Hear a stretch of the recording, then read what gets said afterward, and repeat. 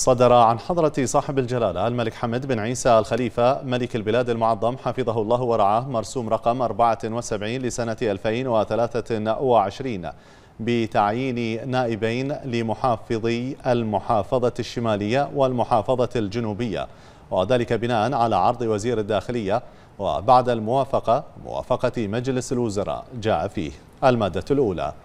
يعين في المحافظات السادة التالي أسماءهم. العقيد عبد الله علي راشد معنطر نائبا لمحافظة المحافظة الشمالية.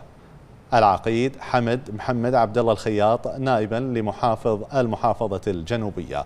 وتكون مدة تعيينهم أربع سنوات.